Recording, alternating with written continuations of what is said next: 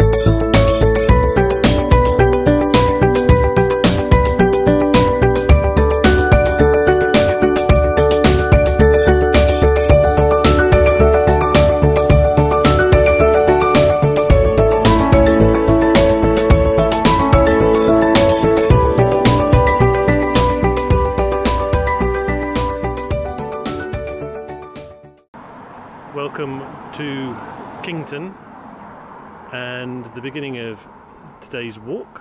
And we're going to be walking past of part of the Offa's Dyke Trail. So we're starting at the War Memorial and then we're going to go and walk up past the clubhouse and it takes about five hours and it's about 13 miles.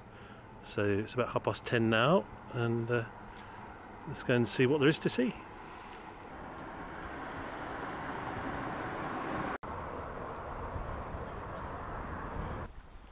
This morning we're walking with the rest of the antagonist contingent, Mrs. Antagonist and the two junior antagonists.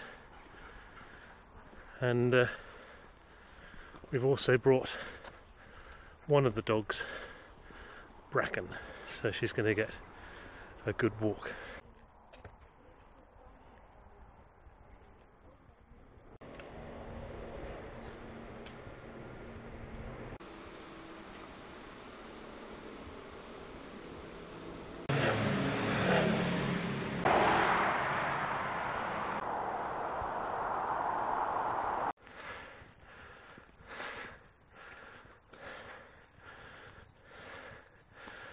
Very much.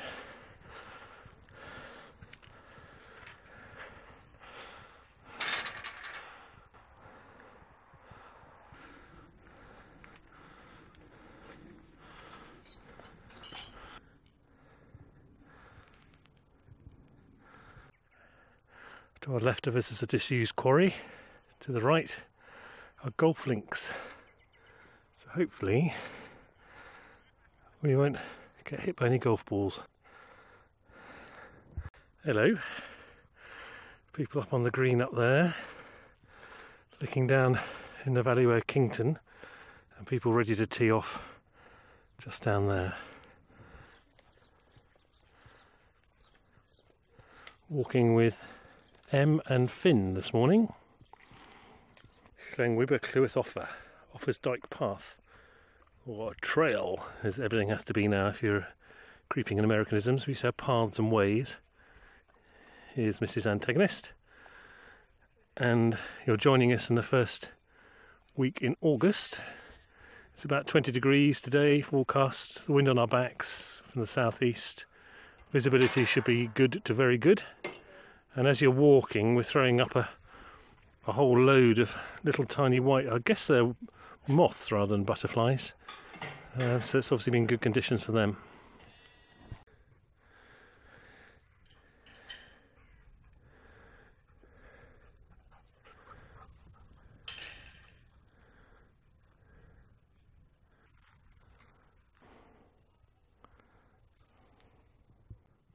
One of the joys in sheep country is you have to keep stopping to put your dog on and off the lead. Be responsible.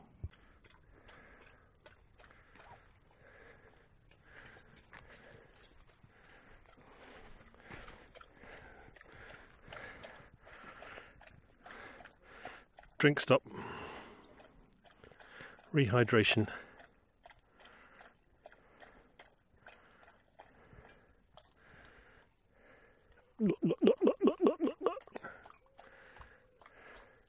thirsty boy. Team are pleased because there's lots of up and down in today's route. Makes it more interesting.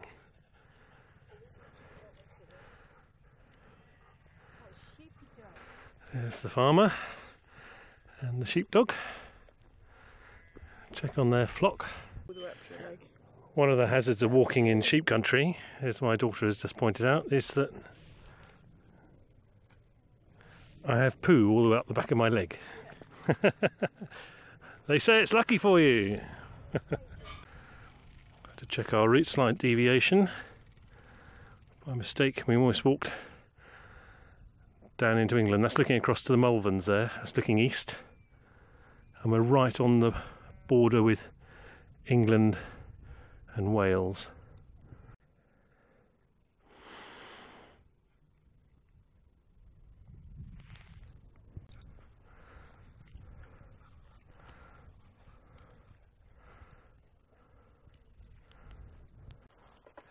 So far, the marking of the path has been pretty good, but it's just failed us here.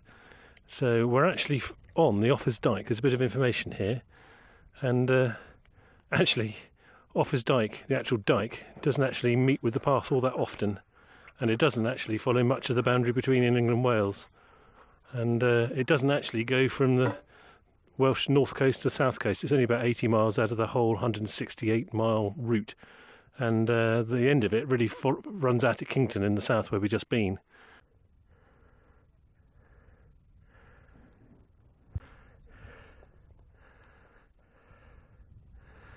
To saying King Offa, King of the King of Mercia, second most important Anglo-Saxon king after Alfred the Great, they say. Uh, starred himself from Charlemagne, born about 756, died about 796, so 8th century. Anglo Saxon. He bordered right up to Northumberland, across to East Anglia, and down to Wessex. And he also had overlordship, or tried to have overlordship of the the tribes down in uh, East Sussex and uh, and Kent as well.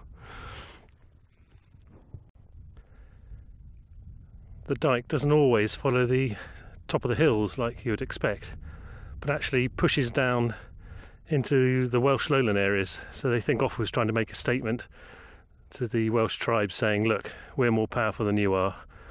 We've actually, we're not afraid. We've pushed our diet right into your lands, trying to make a statement of power. And uh, he made provisions for his son to take over, but I think his son only lasted 155 days before the usual power struggles set in and he gets bumped off. I've been saying we're in Worcestershire, but I just read the footpath sign and it says we're in Herefordshire, so you live and learn. Offa starred himself on Charlemagne, and so he put his head on the coins, like the Romans, like the Greeks. But interestingly, he also put the head of his wife on some of the coins as well. So it's the only king, English king, to do that. So that was very enlightened, wasn't it? The chronicles say he was buried in at Bedford but they don't really know if that's Bedford in Bedfordshire or whether it's another Bedford somewhere else. So his grave is out there still to be discovered. I've cut down a whole load of coniferous forest there. There was a fashion 40, 50 years ago for people to plant coniferous woodland to, for tax gains, but now they're realising their mistakes, so they're, in ecological terms, they're cutting it down and hopefully restoring it to more natural habitat. I quite like these gates. They're actually a gate within a gate. It makes it a lot more easy to get through, both with dogs and with rucksacks. Going through kissing gates, you can't really go through them with a rucksack on. You get stuck. Well, particularly if you're as fat as I am. The actual path goes off to the left. We've been tinkers. The path goes off from the crossroad down there, and it misses out this hill. But we thought let's go and do the hill. Down into England, looking north. I think we're what the Americans say is we're summiting, like meddling. Oh, meddled. We've summited. We've meddled.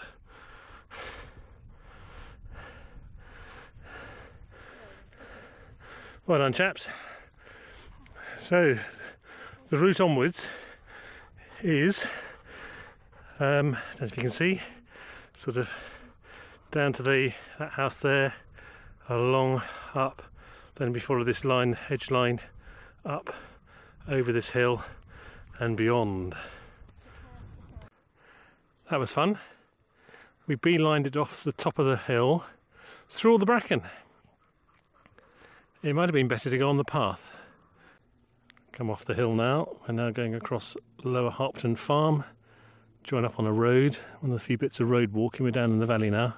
I'm going to walk across, across the flat of the valley over the ford to that house and then round those trees. Oh, into the Badlands now. Welcome to Wales, Croeso i Gymru. Nice and cool here. Drop down to the old road, the old bridge. Traditional finger sign on the other side of the road, the new bridge. The river something, I'll have to look that up when we get back. Old bridge. Big hills in the distance. Stone barn, slate roof. Quite a posh house. Kia, kia. Hear the buzzards. 1200 years. All the trees grow up.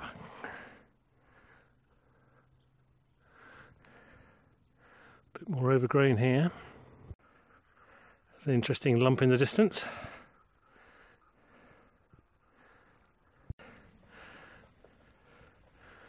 Down and over the road. Some sort of nest here. If I put my foot in, you'll be able to see the scale. There we are. It's quite a nest. Is that a squirrel's nest? Is it a dray? Or something bigger? Who knows?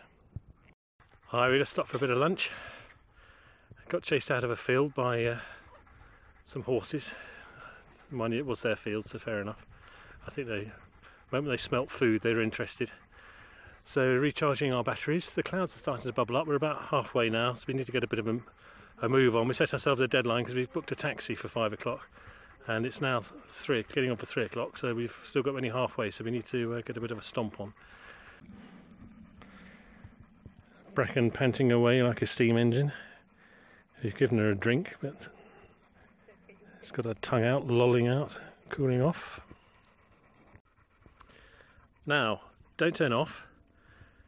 Hang around to the end of the video because you won't know whether we made it or not just after the lunch. So our next hill ahead, up that across the top and drop down to Knighton. What a lovely landscape.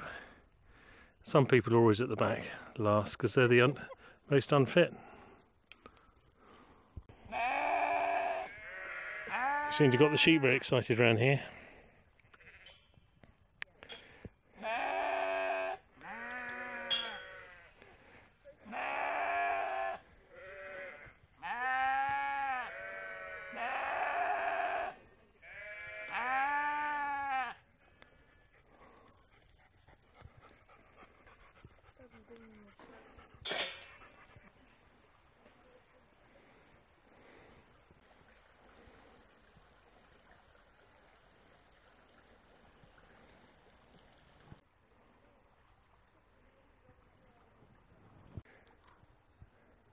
There's a meander almost turning back on itself.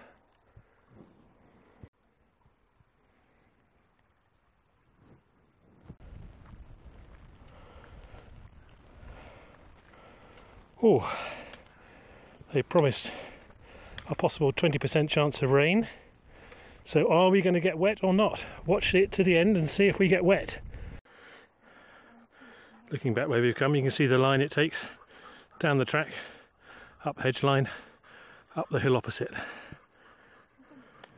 I think there's a few instances of Offa styling himself as King of the English more, more often than not.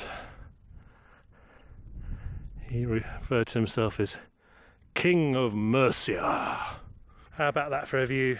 We live in a beautiful country, don't we? Uh, how far have we walked? 17.6 and I think I worked it out at 21.3 and I think it's going to be a bit more than that but interestingly it, uh, we've only got about an hour and a half to go, and we've still got about a third of the walk to go. So, are we going to make it? Are we going to make it to the end? Make sure you watch to the end, see whether we make it. Ah! She's a beautiful creature, isn't she? And my wife is too. The beautiful, fragrant, and exquisite Mrs. Antagonist. Oh. Are we going to get back to the taxi in time? That's the question. I bet you're all wondering at home. Well done, team. It's a hot, muggy day. Drunk plenty of water, but we've bought enough, so that's okay.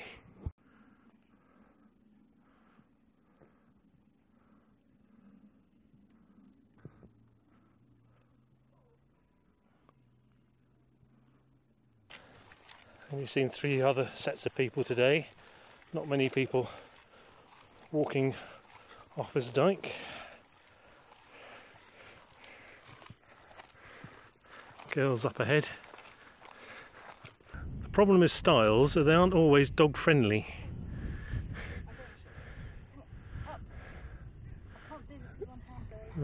Emily's going to assist. There we go. Come on, Brett. Here's a good girl. Here's a good girl. Have you come? Have you come? Yes, good. Come on, over you come. Yes. There we go. No problem. And we're into a field of bulls with a red bag. Off you go, Finn. Pamplona run. Hey, ladies. Are you Herefords? Don't know.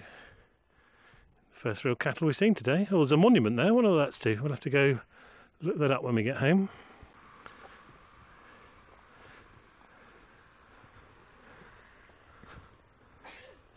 Oh, poor them, suffering from hay fever. I think it's chestnut pollen. Chestnut seem, sweet chestnut seem to be out at the moment. Another awkward one to get the dog over. All the birds wheeling overhead. Just coming into Knighton. We've got two minutes to go. Are we going to make it or not? In the A448, which is quite busy. The outskirts of Knighton or Nighutten, depending how you want to pronounce it.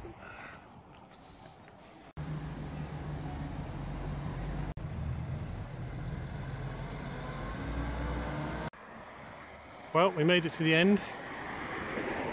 The Offa's Dyke Centre. Down by the railway. Just waiting for our taxi. Just rung them and they're going to come and pick us up.